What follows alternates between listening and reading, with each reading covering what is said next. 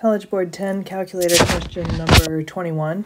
Um, what we have here is an equation with x and y, and we've got this guy Clayton, and he is mixing um, milliliters of a 10% and a 20% solution. Um, and we're going to let x represent the 10%, and we're going to let y represent the 20%. And he has to combine a certain amount of each to create an 18% solution.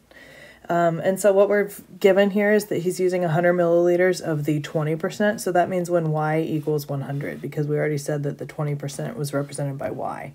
So I'm going to take the 100 and I'm going to plug it in right here and right there. And I just have to solve for x. It says how many milliliters of the 10.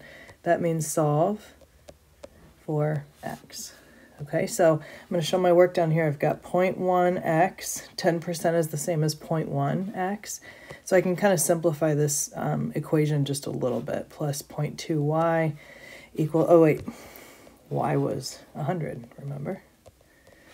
Equals 0.18x plus 100.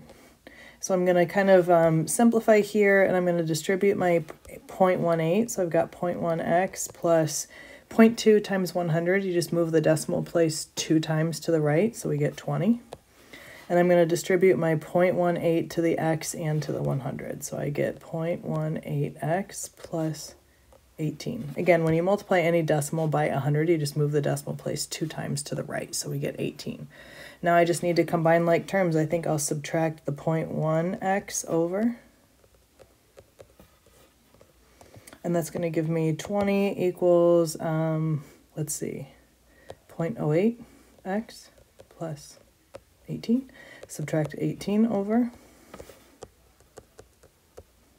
And you will have a calculator, so we're just dividing both sides by 0.08. And we end up with x equals 25.